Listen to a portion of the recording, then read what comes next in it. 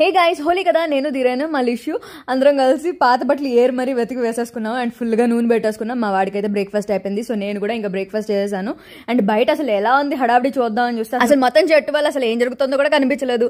ఇంకా మా బాల్కనీకి మా లిష్యూ గాని తీసుకొచ్చేసి సున్నిపిండి ప్లేట్ వాడు ఎదురుకుండా పెడితే దాంట్లో టపా టపా ఆడాడు. ఇంకా మాకు కూడా రాసేసాడు. అండ్ వాడైతే వావ్ నాకు ఫస్ట్ టైం ఇలా ఇచ్చేసారని చెప్పి చాలా ఎక్సైటింగ్గా ఫీల్ అయ్యాడు. సో ఇదే వాడి హోలీ కలర్ అనమాట వాడు ఏంటో కొత్త కొత్తగా చూస్తున్నాడు. నాకేదో చేస్తున్నారు వీళ్ళు నాకంతా అని చెప్పి. ఇంక లోపల తీరాన్ని కూడా వచ్చేసాడు. ఇంక ఇక్కడ కాదు ఇల్లంతా పాడైపోతుందని చెప్పి ఇంకా మేము మేడ మీదకి వెళ్ళిపోయాం. అక్కడ ప్రాపర్ వాటర్ అరేంజ్మెంట్ అంతా చేసాం. సో మా వాడికి ఇదే కాదు ఎల్లో కలర్తో పాటు కొంచెం రెడ్ కలర్ కూడా కావాలని చెప్పి కుంకుమ కూడా అరేంజ్ చేసాం. అండ్ గన్స్ కూడా ధీరేని తీసుకొచ్చేసాడు. సో ఇంకా మేమైతే పిచ్చోళ్ళలాగా కలర్ వేసుకుని మరి నీళ్ళు జల్లుకుని ఆడుకున్నాం. మా వాడి చేత కూడా జల్లిచ్చాము. సో మొత్తానికి మళ్ళీ ఫస్ట్ హోలీ అయితే ఇలా జరిగింది. వాడి పేరు చెప్పి మాత్రం నేనైతే బాగా ఎంజాయ్ చేశాను.